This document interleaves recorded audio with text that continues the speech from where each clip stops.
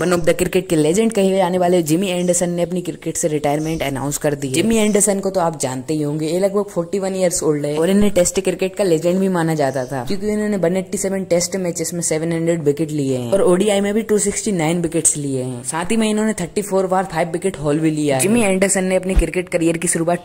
to में करी थी और बाईस साल बाद टू में वो क्रिकेट से रिटायरमेंट ले रहे हैं उन्होंने बताया की वो अपना लास्ट मैच टेस्ट फॉर्मेट में खेलेंगे जो की टेंथ जुलाई से फोर्टीन जुलाई तक चलेगा और यहाँ यहाँ पर फैक्ट की बात यह है कि उन्होंने अपना करियर स्टार्ट किया था लॉर्ड्स के मैदान से और वो अपने लास्ट मैच भी लॉर्ड्स के मैदान में ही खेल रहे हैं